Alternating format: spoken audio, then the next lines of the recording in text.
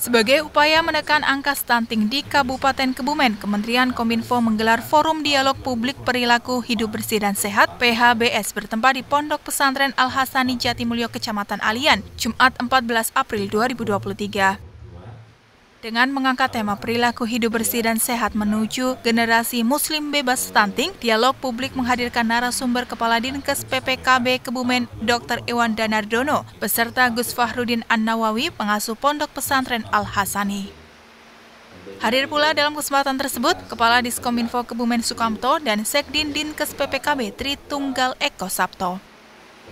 Wiryanta selaku Direktur IKPMK Kominfo menjelaskan dialog publik dengan tema stunting adalah untuk mendukung program Presiden Republik Indonesia di mana pada tahun 2024 penurunan stunting mencapai 14 persen.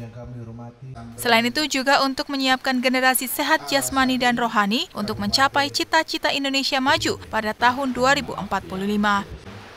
Untuk itu, ia menggandeng ulama yang ada di Kebumen untuk mengajak santri beserta masyarakat muslim bergotong royong mencegah stunting.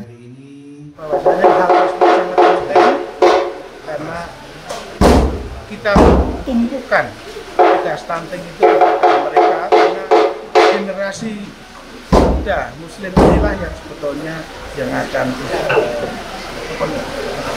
kita wariskan, kita estafetkan untuk membangun negara itu kepada adik-adik saya terutama pada santri, santriwan dan santriwati.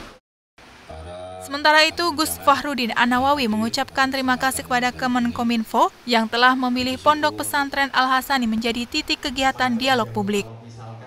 Menurutnya, kegiatan ini sangat baik karena untuk mengedukasi santri dan masyarakat untuk mengatasi stunting khususnya di Kabupaten Kebumen. Nah, ini kadang sehat itu kadang dilalaikan oleh manusia ketika dia sakit baru dia sadar. Nah, nikmat sehat itu nikmat yang luar biasa, maka kita harus menjaga kebersihan kita di rumah, di lingkungan, dan lain sebagainya agar hidup kita sehat selalu dan bisa beraktivitas dengan baik, beribadah dengan baik. Dialog publik juga disiarkan secara langsung melalui kanal YouTube Ditjen IKP Kominfo. Dari Alian, Tim Liputan Rati TV memberitakan.